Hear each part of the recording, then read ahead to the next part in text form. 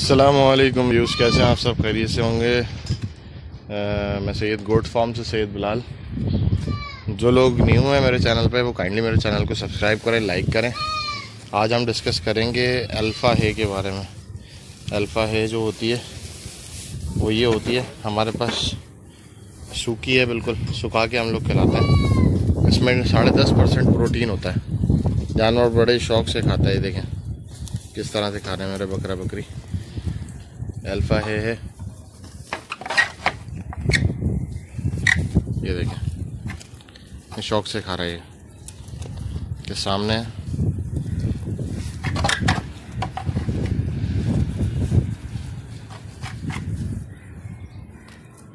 बड़े शौक से खाते हैं लोग। दिखाता हूँ आपको। तो ये बड़ी जानदार होती है। इसमें साढ़े दस परसेंट प्रोटीन लेवल होता है। इसमें फैट्स वगैरह, ये सारी डिटेल में आपको बता दूँगा कितना क्या क्या चीज़ें होती हैं। बच्चे वगैरह भी सब हमारे यही खाते हैं और माशाल्लाह आप हेल्थ देख सकते हैं। बच्चे की ये भी ग्यारह मंथ का बच्चा है। माशाल्लाह झालर वालर बना रहा है।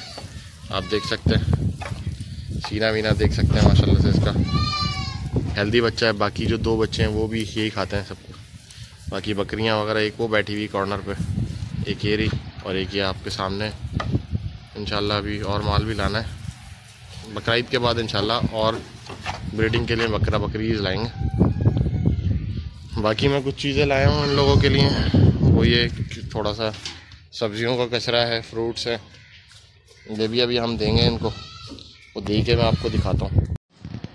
देख सकते हैं आप लोग किस तरह से माशाल्लाह से ये लोग एक वाली घास खा रहे हैं। बड़ी बकरी बहुत तंग करती है इन लोगों को। और बाकी आप ये देख सकते हैं। अब रीडर भी खा रहा है। ये तो सब्ज़ियाँ इसमें पड़ी हैं तो ये लोग सब्ज़ियाँ खा रहे हैं। बाकी जहाँ घास थी, वो घास इन लोगों ने खा ली है, तकरीबन। बाकी इसमें सब्ज़ी खा रही है बकरी। ख़त्म हो गई सब्ज़ी भी, तकरीबन। देख सकते हैं आप, हमारा राजा खा रहा है, खाने में लगा हुआ है।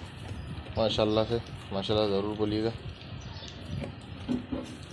बाकी बकरी भी खा रही है। अल्फ़ा है, कहलाती है। और ये जानदार होती है। साढ़े दस परसेंट इसका प्रोटीन होता है। प्रोटीन लेवल इसमें साढ़े दस परसेंट होता है। बाकी बकरियाँ भी आप देख सकते हैं। सारे बच्चे, वहाँ चले गए। वहाँ बकरी के साथ लग गए। वहाँ भी घास है, पड़ी हुई। काइंडली जो लोग न्यू हैं, वो मेरे चैनल को ज़रूर सब्सक्राइब करें।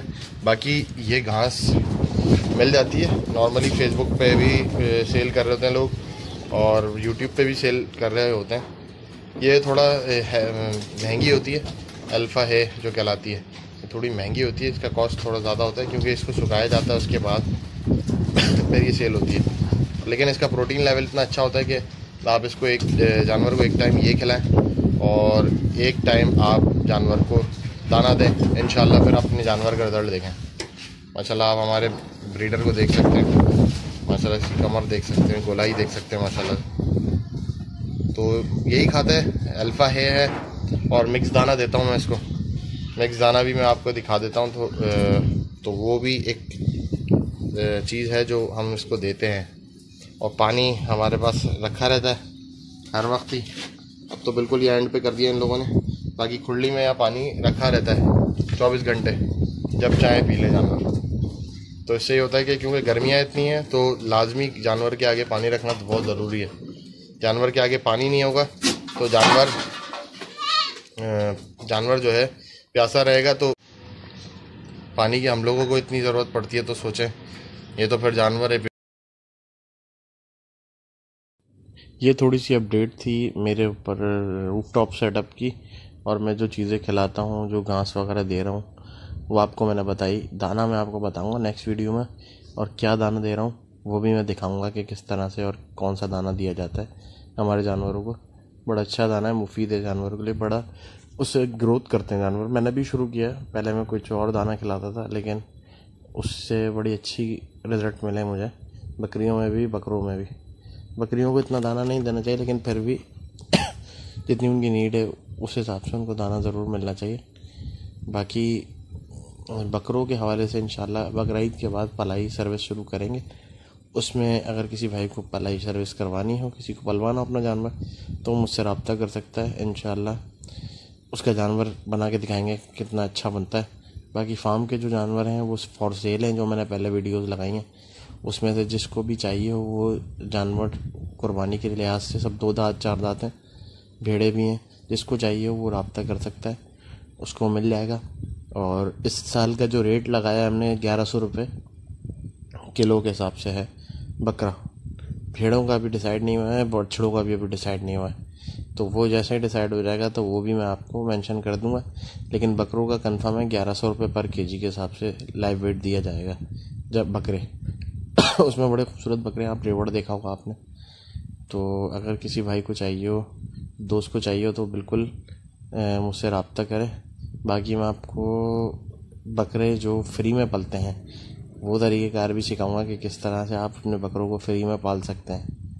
वो थोड़ा थोड़ा सा आपके लिए पैनिक होगा, लेकिन इन जानवर बड़े अच्छे बनेंगे और आपके फ्री में पलेंगे, आपको कोई एक पैसा नहीं लगेगा जानवर पालने में। तो इन मैं आपको बताऊँगा, उसको देखिएगा, कीजिएगा अपने जानवरों को, पालिएगा उसमें, और बड़ा मज़ा आएगा आपको। आप खुद बोलेंगे कि नहीं, वाकई में जानवर हमारे तैयार हुए हैं। वो भी वीडियो इंशाल्लाह अपकमिंग आ जाएगी। और आप लोग देखिएगा कि किस तरह से जानवर पाला जाता है फ्री में। ट्रिक्स हैं, कुछ टिप्स हैं, जो लोगों को नहीं पता। लोग लगे होते हैं, पाल रहे हैं।